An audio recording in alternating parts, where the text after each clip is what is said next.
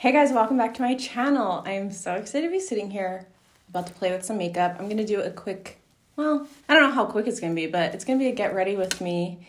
And I haven't done one of these in so long. I was not planning on filming this today, but someone commented on my last video and said, you should do a get ready with me. And I thought, wow, I would truly love nothing more um, because I have been playing around with makeup more now that my room's all finished. I feel like I have this designated area to sit and play. So I thought I would get ready with you guys, or you would get ready with me, or and show you guys how I've been doing my makeup lately, what products I've been using, because I've really been kind of keeping it pretty consistent and doing kind of the same thing. Yeah, so let's just get into it. I'm gonna also do my hair. It's washed and blow dried, but I'm gonna kind of clip it out of the way for now so that we can just get right into the the face. So the first thing I've been using for my skin is not a foundation. It is this product here, which is by Colorscience. It's the Sunforgettable Total Protection Face Shield. It's SPF 50. Um, this isn't really a tinted moisturizer or a foundation, but I've been using it as one. Um, you know, I already use a sunscreen, but I feel like this is just giving me an extra protection and it also gives me a really nice glow. Um, it really doesn't have much coverage at all, um, but it does have like a peachy tint to it. I'll show you. Um, but, and so this is what they call a universal shade. Now, obviously, that color does not look like that would suit most people, but because it doesn't really have coverage, it's not really um, going to go on like a foundation. Um, it's mostly just has like a peachy tint to it to give you more of a glow. Um, and I think it's mostly also to counteract the white cast that sunscreens leave. Um, so, with that being said, I really do think that this really could work for even deeper skin tones because it doesn't give you that white cast and it just has like a little warm glow to it. Yeah, so I've just been really loving this. I feel like it just like kind of evens out my skin tone ever so slightly without providing any coverage. Um, you know, we're we're all working from home, we're wearing masks. Foundation just is like not it for me right now. As you can see, I just like look the same. It just gives me a little and uh, that extra sun protection. Um, okay, so I'm gonna go in with a concealer, an old classic. This is the NARS Radiant Creamy Concealer. I'm in the shade Vanilla. You guys, this this concealer is so old, it's kind of disgusting, but I hadn't picked it up in a really long time, and then I started using it again lately, and I'm like, huh, sometimes it's nice to get back to the basics. Um, so I'm just gonna cover up. I woke up with like a little hive. I don't know what that's about. I do get some redness on my chin, so I just like to kind of tap that in, cover up any veins, um, and then of course the under eye. And I just tap that in with my finger. I never ever like using a brush under my eye. I don't know how some people do it.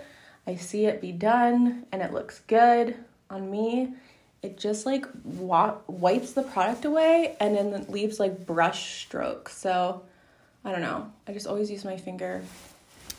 It just gives the best application. And boom, done. This is like all I've been doing to my skin lately. So, so simple. Um, obviously, we're gonna go in with blush and bronzer um, in a little bit, but but that's it. That's all I've been doing with my skin. So brows, my tried and true um, boy brow which I need a new one of this. I'm like scraping the inside, but I always um, comb it in the opposite direction and then brush it up. And I just feel like that gives me the most fluff and product. Okay, brows are done. Um, so for the eyes, I've been loving my Glossier Skywash in Palm. It's my favorite of the Skywashes. I wear it all the time. It's just like a really sheer, light, peachy brown. And um, I just really love it. I feel like it just gives like a really subtle color. This is what I wear when I don't really want to look like I'm wearing much makeup or eyeshadow. Um, it just feels like very casual, very like, oh, I I don't even try, but somehow I just look great. Um, so if you're fair skin, this one's great. If you have a deeper skin tone, um, their shade in Echo should give you the same result. Just a little like my eyelids, but better. Sorry, I keep looking over here. This is my newer camera and the viewfinder's on the side and I just keep checking to make sure I'm in the frame. Give me some time to get used to. So, this is where I get a little crazy. I've been wearing liquid liner. I haven't worn liquid liner in a long time, but I like, I don't know, I just woke up one day and I was like, I need a wing. And I did it. And so, and I just felt really pretty. And so I've been wearing it. but just in a very like kind of subtle way, in my opinion. Um, so I my favorite one is the Glossier Pro Tip. I love it. It like you guys, this one's old too. I need I shouldn't be using old makeup, but like are we really throwing out our makeup when it's old? I don't think so. So I have hooded lids. They're not the most hooded, but if I look kind of straight on without doing my like camera face or mirror face when I'm like I kind of like raise my eyebrows, this is what my eyes look like. So as you can see, they're they're a little bit more hooded, um, not fully, but just hooded enough that liquid liner just didn't always work for me. It just didn't, you know, when our goal, I feel like when we do liquid liner is to like elongate the eye, give it that almond shape, that very like sexy cat eye. Um, but for me, it always kind of just did not look that way. So Katie Jane Hughes has this trick that has been great for me um, which is for hooded eyes. And it's to look straight ahead instead of like, you know, we do the liner like this, then you open your eye and it kind of disappears or the shape changes. She looks straight ahead.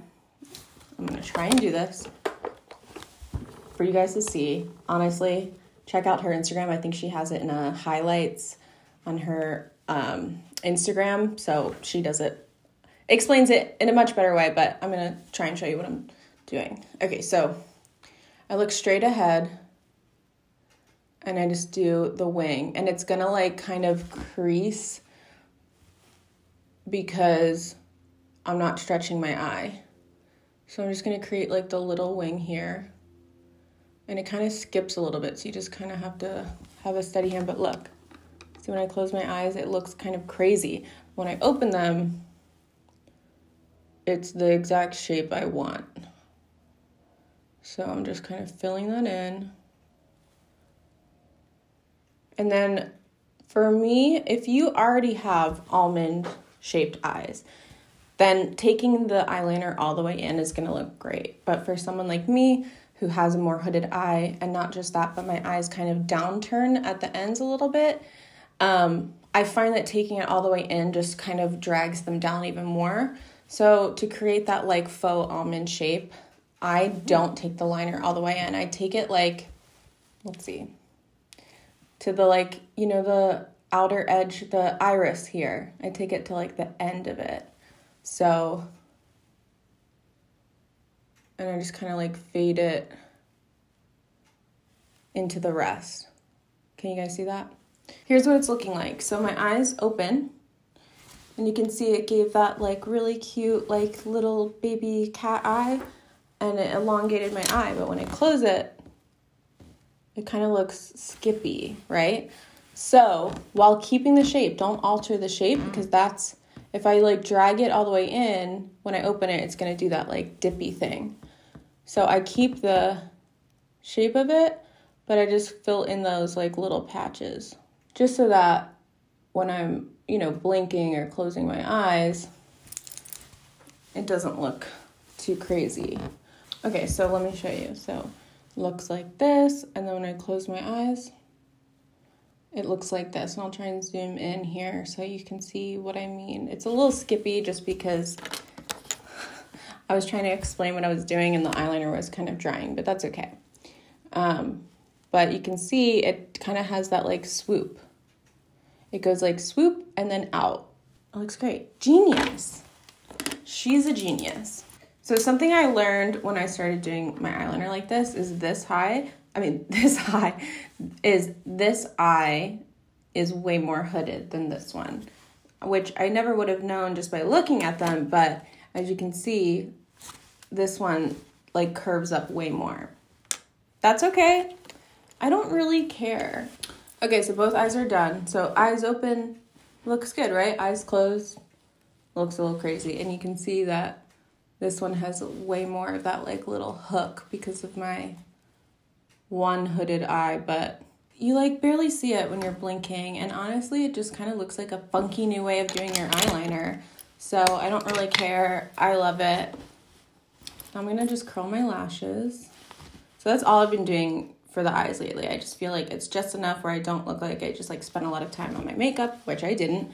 Um, but you know, it's like a little bit sultry because it's all about the eyes lately, right? Because we're wearing our masks. Okay, so this mascara I've been using.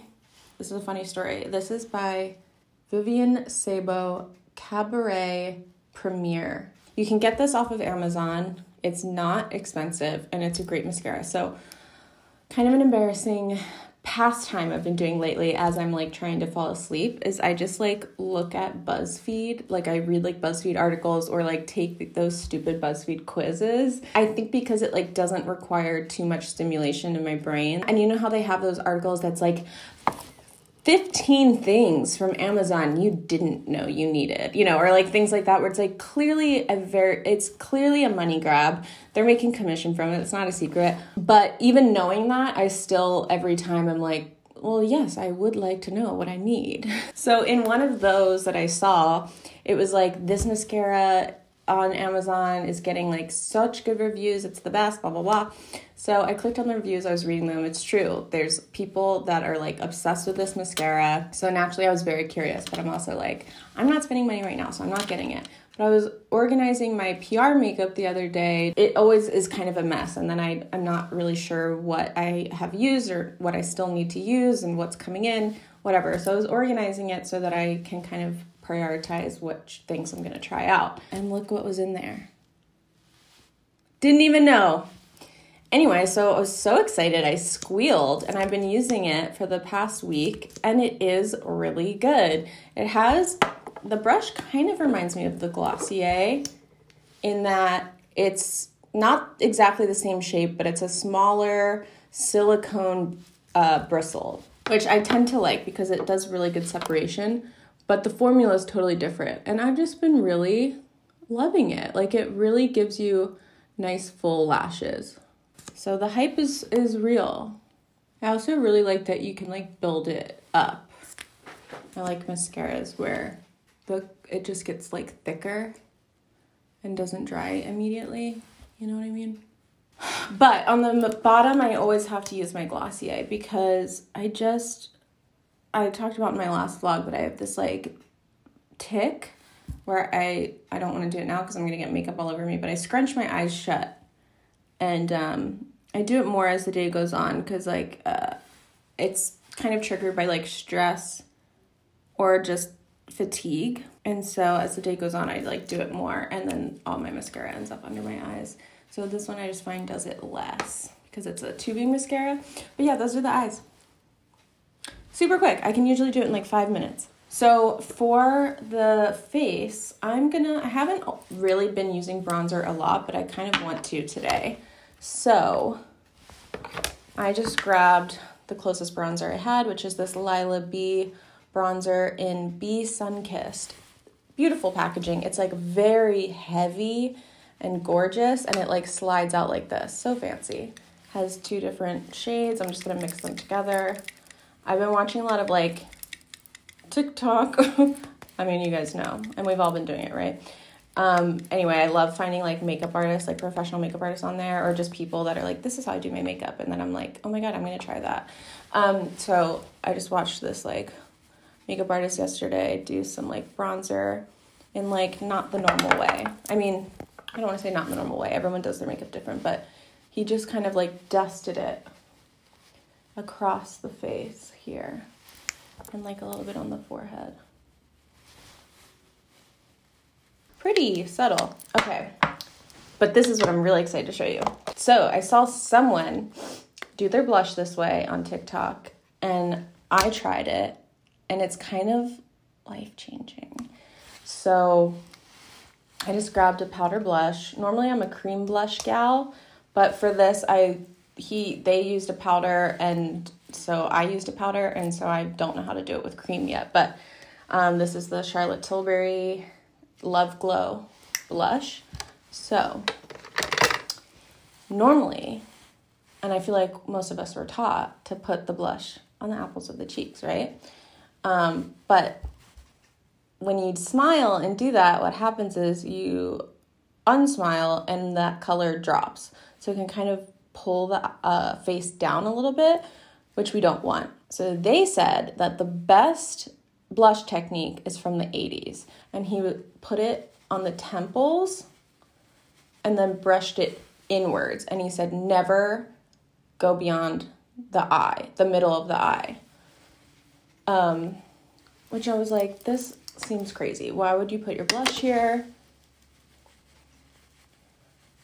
But you guys, I couldn't stop staring at myself all day.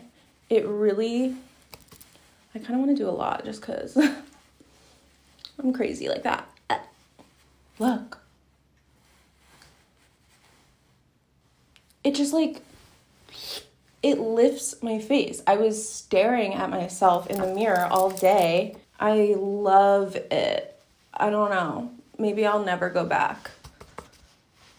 I'm sure you could do this with cream blush, but I just haven't tried it yet, so. And then he did like a little bit on the nose, forehead, and chin, I guess, just to like give a little flush. You guys, I feel so pretty and like lifted. And so what I've been doing to like keep that is taking my favorite highlighter to use ever. I don't even know if it's technically a highlighter, but it's the Charlotte Tilbury high, uh, sorry, Hollywood Flawless Filter. I use the shade 2. It's just amazing.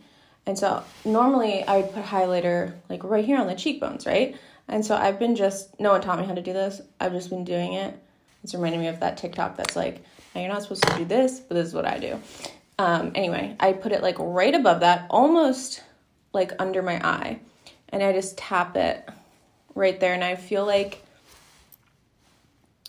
like it's like it doesn't hit this the light here, it kind of hits it up here, which I feel like continues to bring my face up. I don't know. I just like it. That's what I've been doing.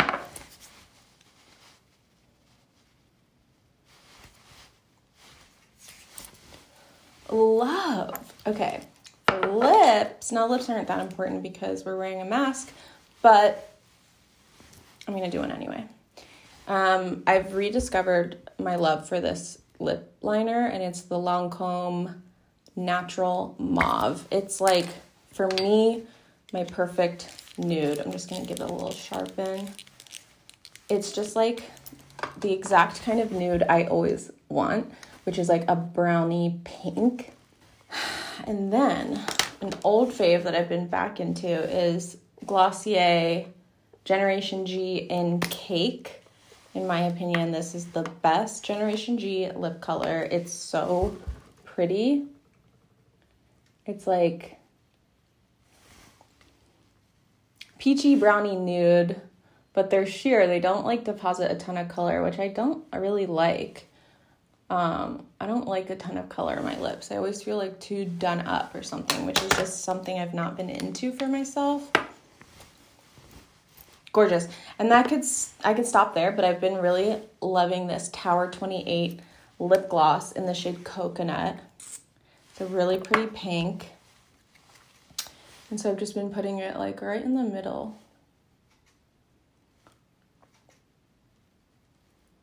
Just for a little juicy but yeah, now we're gonna move on to the hair. I'm really excited to do the hair because I got a new curling iron. If you watched my last vlog, you know all about it.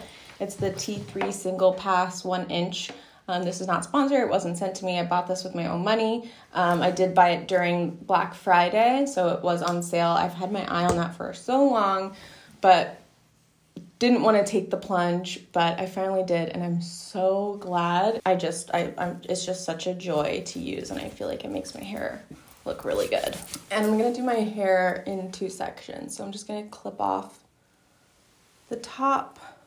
Okay, I want to try something a little bit different. So normally I curl my hair all back, like all the curls go towards the back. But lately, since I got this curling iron, I've been um, alternating. So like this one goes back, this one goes forward. And um, I really like that. But I feel like I really like the front pieces to go back. So I think I'm gonna like do these two sections towards the back and then start, start alternating like behind the ear. Um, okay, we're all ready to go. So this is what I've been doing. I kind of start halfway and then just twist it around, hold it for a sec, pull it out, and when you pull it out, kind of straighten it, like pull at the ends, and I don't know, it gives you that more like undone look, I think. All right, so I'm gonna do, normally I alternate, but I'm gonna do this one towards the back also. Um, and then pull out. I love this iron. My last one was like ripping out. It gets really hot. Be careful. My last one was like ripping out my hair. Like I couldn't even curl it the way I'm doing, like without ripping out all of my hair. So now I'm gonna hold the iron different and curl it in. You don't need to hold it long at all. Just give a little bit of a bend. All right, so I don't like mess it up yet because I want the curls to cool so that it lasts longer. But I'm gonna do the exact same thing on this side.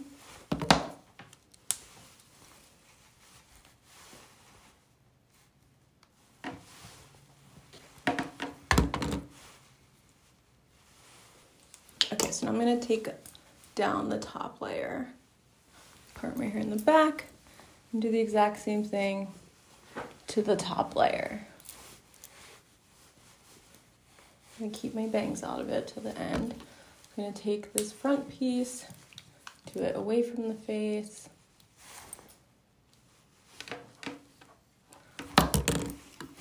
Ah! Close call.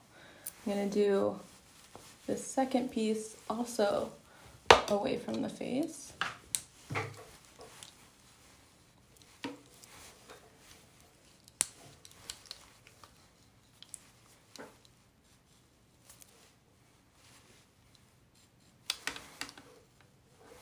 And now I'm gonna start alternating.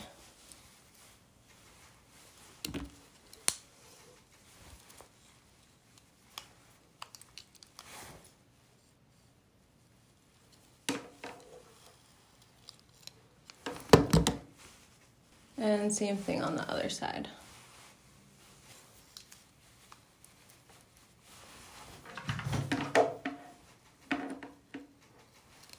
And if you ever feel like it's too curled while it's still hot, I just kind of flatten it. Like pull the curl so that it just kind of loosens up a bit. And then you'll usually be okay. Okay, so then for the bangs, I like to go back and I barely do anything, but always away from the face. I just kind of give like a little something. Um, just so that they're not like straight. just give like almost like immediately pull them through. Just like a little swoopy. So now I go through and break apart all the curls.